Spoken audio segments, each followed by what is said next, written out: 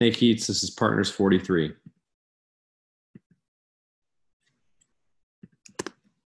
Happy Friday. I'm sure you've had a successful week.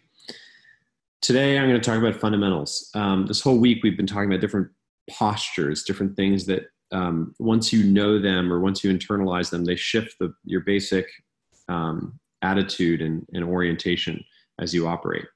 And fundamentals really do shift the way you operate once you understand the fundamentals of a business and are grounded in them, you can filter out a lot of noise.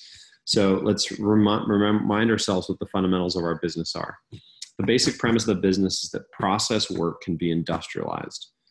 Labor markets can't control work output because they're decentralized. Software only solutions can't deliver the full end to end solution. Um, so they're partial and fragmented. We deliver custom end to end solutions while taking advantage of both labor and software. And um, our moat's hard to replicate because to us, the work isn't custom. It's actually all driven by process.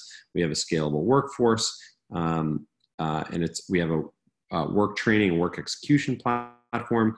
Um, we've figured out how to control quality, how to coordinate labor, how to receive delegations, how to secure work. Um, there's a technology platform that powers all of this. As long as our COGS are about $5 an hour and our revenue is about $15 an hour and we're well capitalized, then the growth, product market fit, distribution, CAC LTV, pricing, positioning, all these little questions about growth and the onboarding UX questions will figure themselves out. And that's the position we're in. So, what do we have to do? We have to return to the fundamentals. Is our workforce scalable? Are we extending our moat? Are we controlling our costs and maintaining our pricing margin of safety? Are we investing in growth and UX? These are the essential questions. And if we stay focused on these questions, we'll be all right because we will solve them.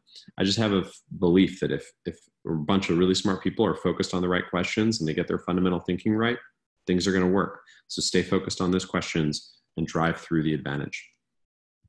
Have a great weekend and rest your Friday.